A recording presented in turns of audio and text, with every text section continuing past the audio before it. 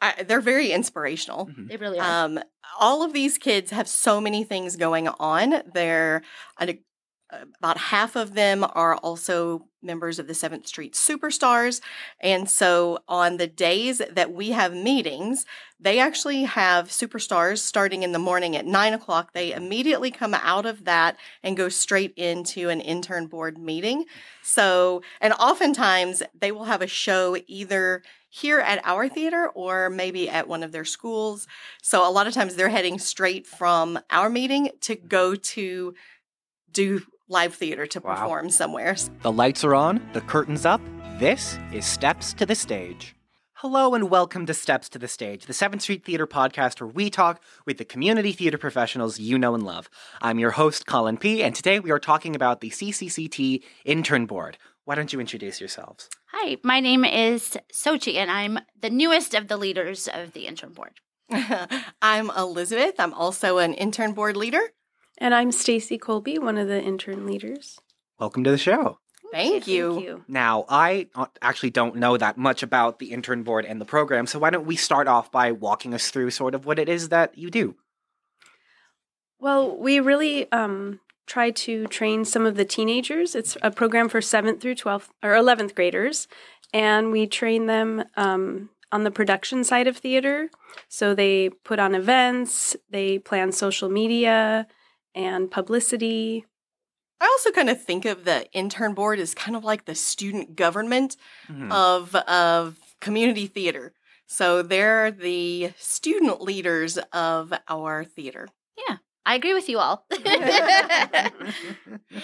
And They're beyond- the student leaders, um, the newer, I guess the the ones that have the newer, the newest opportunity to be a part of, not just on the stage, Mhm. um, but behind the stage. So it's, um, yeah, it's giving all of the kids a different opportunity Yeah. to see Would- all sides of the theater, basically. Yeah. Would any of you happen to know how this program came about initially, or I, I believe that Debbie Barbin Mhm. Got this program started, but I am not 100% sure about that. So we should probably check that out. Yeah. I think Jesse Jesse? Jesse. Pyle started it and then maybe with Debbie's help, I think. Um, but I think it was Mhm. Jesse that started it and then with Isaiah. Isaiah. Yeah. And then um yeah, I think they were the one I believe that that that might be I think you're right. I think I think you're right. Would each of you mind talking a little bit more about what your role is in this program and sort of how how you help the kids along and sort of what as like a leader of the leaders almost? Yeah. I think we're really just kind of the coordinators. Mhm. And so the goal is really to have the the kids, the teens, be the ones who are driving, uh, or who are driving the intern board. Um, gives us we we take the opportunity to kind of guide them in how to how to be a leader. Um, so even from the interview process, we just try to really relate it to the things that they're going to need in leadership roles, whether at the theater or anywhere else in the rest of their life, from the time of their interviews, from organizing to running meetings, um, in how to lead a group, how to motivate people. Uh, those are the kinds of things that we really focus on helping them with so that then they can lead the other kids in the theater. Yeah, I'm gonna say I'm gonna agree with that, and then also just because this is my first season, so this last interview process was my first experience with it. Um, listening to their answers to questions that we were asking, we did a group interview. Um, how they work together as a team, but as Elizabeth said, we are there to not tell them what to do, but to guide them if they get stuck with the problem.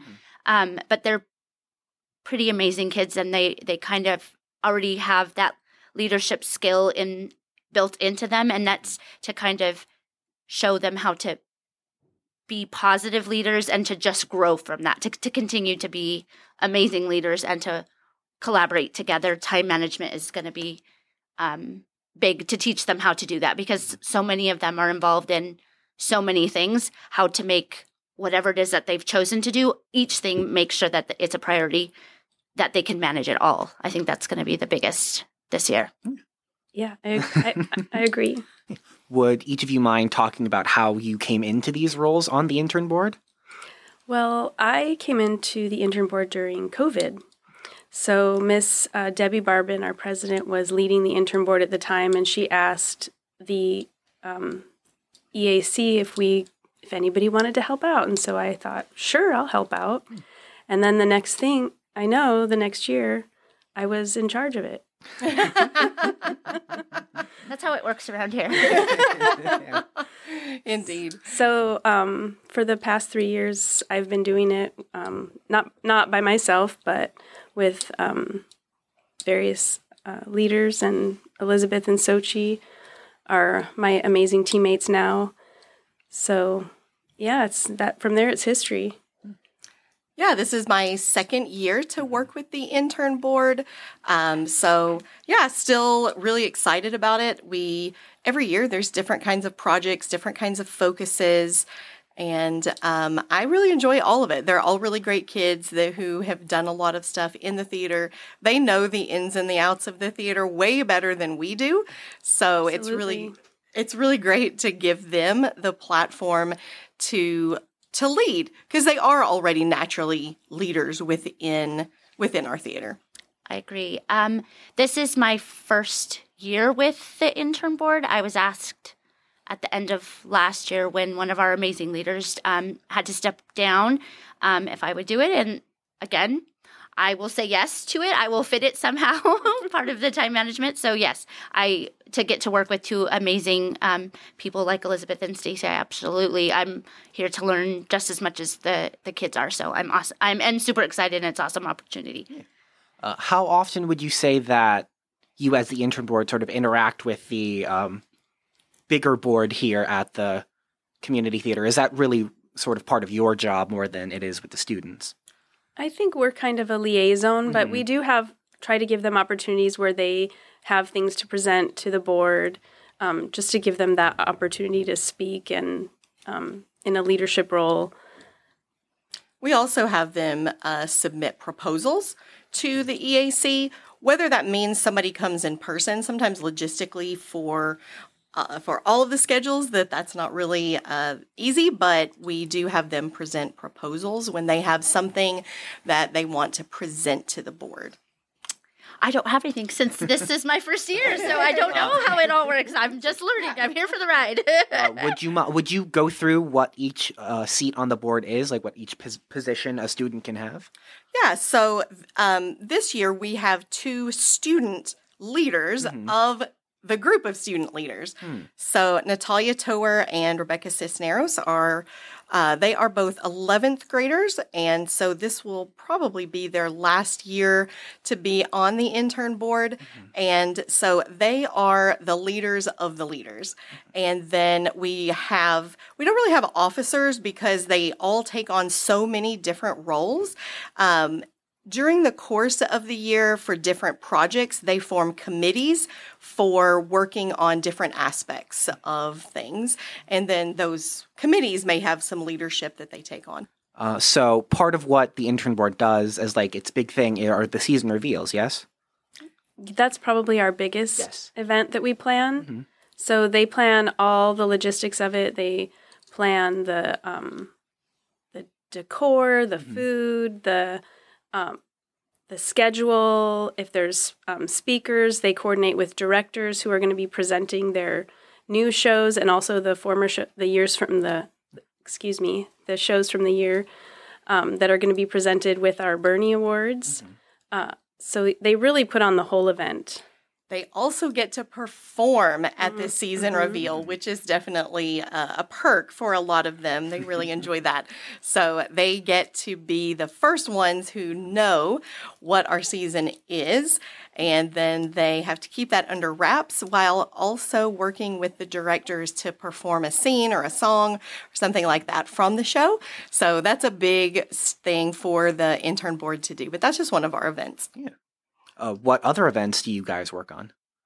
We also put on a teen summit every um, at the beginning of every summer, and this is an event that they also plan all um, components of it. But it is to try to get the teens together to give their ideas for the theater from what kind of shows they would like to see the uh, theater put on to special events, classes.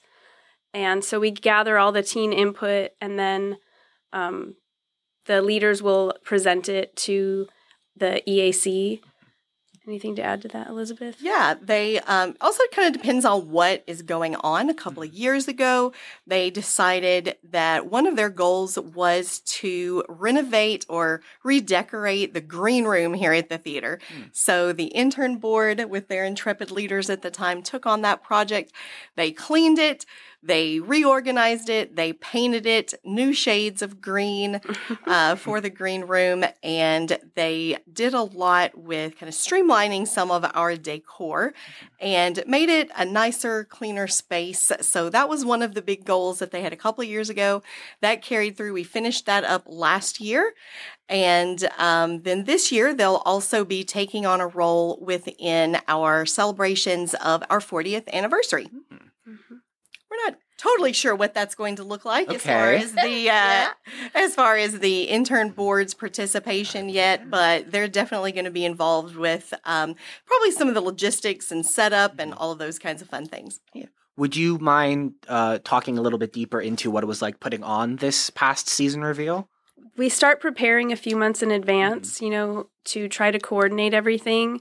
Um, like Elizabeth said before, the kids are put into committees, so they um, really work in small groups to plan each component.